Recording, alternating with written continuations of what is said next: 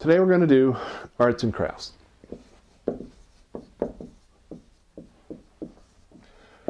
And what we do, what we have is um, we have beads, sequins, and strings. And our our goal at this arts and crafts project is to make as many as many beads and string combinations as we can, having eight beads, three, eight beads in a row with one string going through them. So we we want to build this this thing, eight beads, one string going through it, all day long, as many as we can build.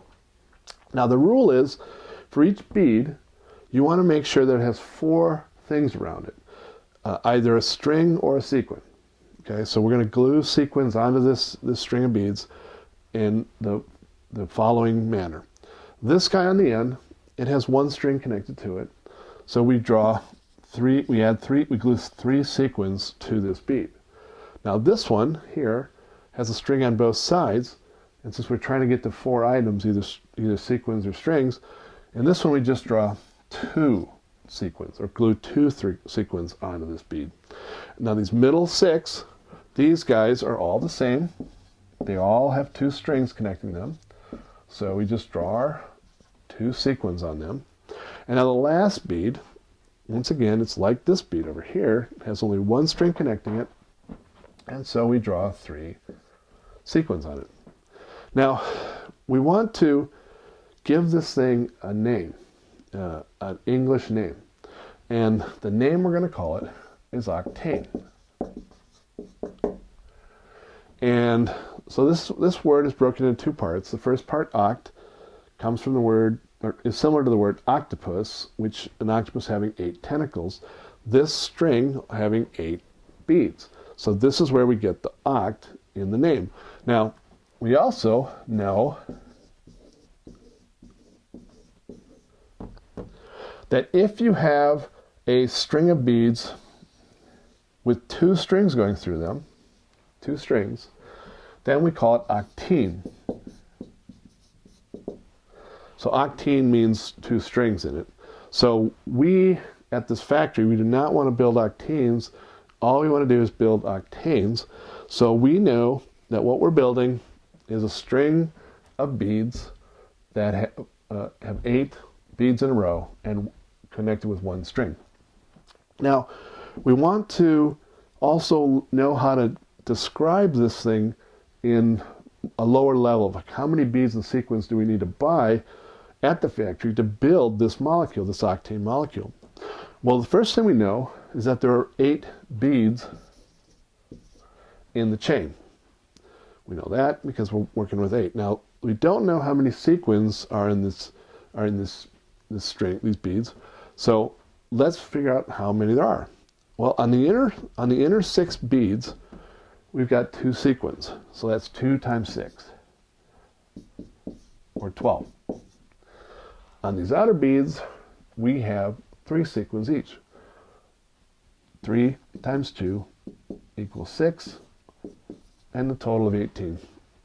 So there are six inner beads, two sequins on each inner bead, two outer beads, three sequins on each outer bead. 12 plus 6 equals 18. Now, we put that here as a subscript, also as a subscript, to indicate that this we'll call it a molecule. This string of beads, called a molecule, has 8 B's and 18, uh, 18 S's. Now, let's go one more step in, in this, num this naming convention, and let's build an identical an identical molecule to the one above, to our other octane. So we're building another octane. Absolutely identical, no difference. So, do we go and redraw another B8 S18, or what's what's the method to describe two octanes? Well, the answer is you just put a two in front of your molecular formula. This is the formula for a string of eight beads, B8 S18, and then when you have more than one string, you just put a two there. So if we had hundred strings, we just put hundred. So this is how many, and this is what the what the string of beads is made of. Now, what I want to do is introduce chemistry into the discussion and say that we really are working with carbon in, instead of the beads and hydrogen instead of the S's. Now, carbon being the elements that humans and life are made of, we're carbon based life forms, in nature wants to hang around four different atoms. That it's every atom in the periodic table wants a different number of atoms to associate with, and carbon likes to associate with four. So we can we can take the definition of octane and rename it C8 because we know that every bead is now called a C, carbon. And hydrogen is the most plentiful element in the world. It's found in water. It's it's the small. It's got an atomic number of one, so it's the tiniest atom you can find, and it only wants to associate with an atom one at a time. So each sequin is drawn. There's only one sequin drawn, and so hydrogen replaces sequins one to one, and we have H18. So this is the molecular formula of octane. Now, what we're going to do is we're going to introduce a very close cousin of octane called heptane. And heptane means seven instead of eight. So what we got to do is lop one of these off. And now we have a chain, a string of beads with seven. One, two, three, four, five, six, seven. And let's go and figure out its molecular formula also. We've got two at the end, two beads times three equals to six. We've got five inner beads with two sequins on them. And that totals 16.